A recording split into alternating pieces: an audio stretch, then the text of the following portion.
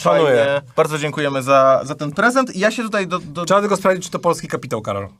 To jest kuźwa startup czteroosobowy, ziom. Stary, nie wiesz nigdy. What? KRS, dobrze. Teraz wchodzimy na rejestr IO. Widzicie, co ja mam? Muszę z Kanye Nie, dobra, same, same, same polskie nazwiska. Kanye Westem muszę prowadzić. Same No, polskie ewidentnie nazwiska. polskie nazwiska. Okej, nie ma żadnych spółek powiązanych.